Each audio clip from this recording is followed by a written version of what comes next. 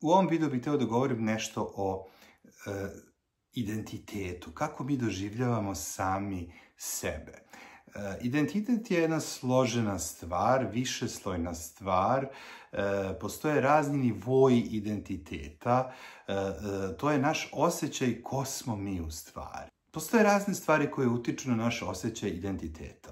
E, jedan od tih stvari je svakako kultura u kojoj živimo, u kojoj odrastamo, u kojoj smo vaspitani. E, različite kulture imaju različite sisteme vrednosti, e, prosto nude različita rešenja za različite stvari u životu i to je nešto što mnogo utiče na, na dožive identiteta. Naprimjer, ako se preselite u inostranstvo, e, vidjet ćete da zapravo mnogi vaši stavovi, uverenja, preferencije zapravo uopšte nisu vaši, nego su iz vaše kulture ono što ste vi mislili da je duboko vaše je u stvari vaša kultura. Tako da kultura mnogo utiče na osjećaj identiteta. S druge strane, tu je porodica, e, porodične vrednosti e, i vaša životna iskustva. Šta ste vi doživjeli u životu?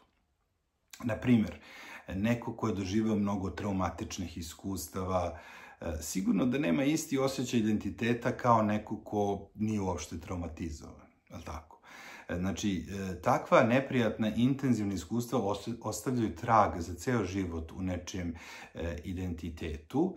E, s druge strane, mi sami stvaramo i održavamo taj identitet tako što se poistovećujemo sa raznim stvarima. Naprimjer, poistovećujem se sa svojom nacijom, sa grupom, porodicom, profesijom, životnim ciljevima, bojom kože, religijom i tako dalje i tako dalje.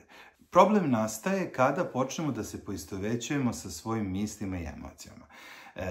Emocije i misli su prolazna, kratkotrajna, privremena stanja i ona svakako ne bi trebala da budu deo našeg identiteta, jer je to nešto što se menja, a identitet je nešto što se ne menja baš mnogo i često.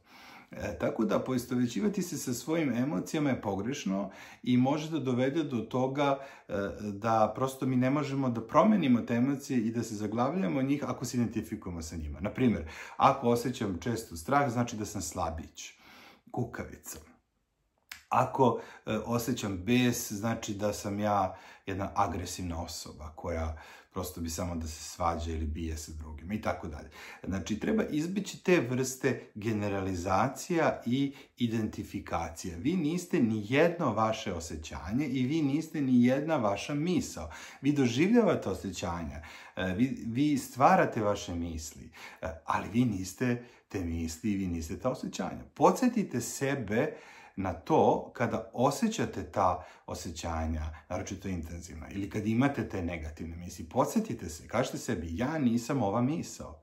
Ja imam ovu misao, mislim o tome, ali ja nisam ova misao. Ova misao postoji trenutno u mojoj svesti i to je to. E, ja nisam ovaj strah, ili ja nisam ovaj bes, ja nisam uh, ova tuga, to je emocija koju ja doživljavam sada. Ona govori o tome kako sam se osjećao nekad ili kako se osjećam sada u ovoj situaciji. Ali to nisam ja.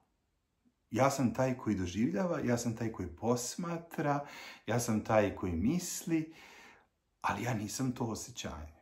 I onda pustite da osjećanje bude tu. Nemojte ga negirati, pustite da osjećanje se ispolji, pustite da se misli ispolje, nemojte ih blokirati i pustite ih. Oni dolaze, prolaze, dolaze, prolaze.